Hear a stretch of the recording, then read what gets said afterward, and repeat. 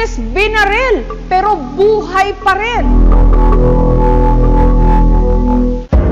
Nitong Martes, ang tahimik na barangay ng Balikutok sa Ilog Negros Occidental.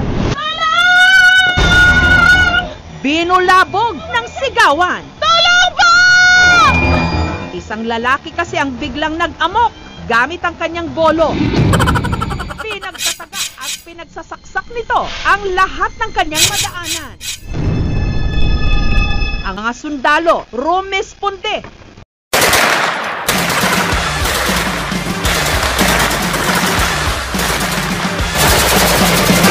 Pero hindi raw ito tinablan.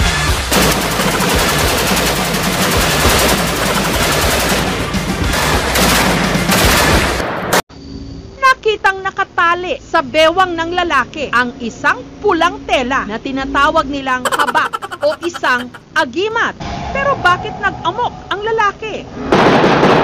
At ang sinasabing agimat nga ba ang sumalag sa mga bala?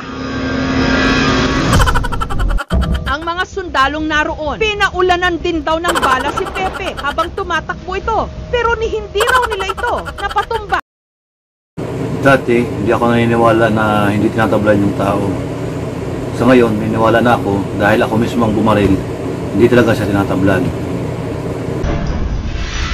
Agad daw tinanggal ng mga sundalo ang pulang tela o habak na nakatali sa bewang ni Pep pagkatanggal ng inaakalang agimat. Pinaputukan daw siya ng isa sa mga sundalo sa braso. Sa pagkakataong yon, tumama na raw ang bala.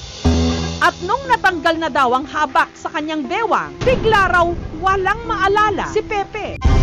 Sa investigasyon ng mga pulis, nagulat sila nung nadiskubring ang dibdib ng suspect. May mga bilog na marka.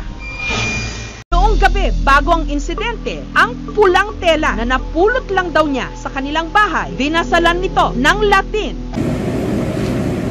Urimus, urimus, ang mga utang nila, babayaran na, wag nang kalimutan, ilang taon na ang nakalipas. Ilang araw bago ang insidente, kakaiba na raw ang mga ikinikilos ni Pepe.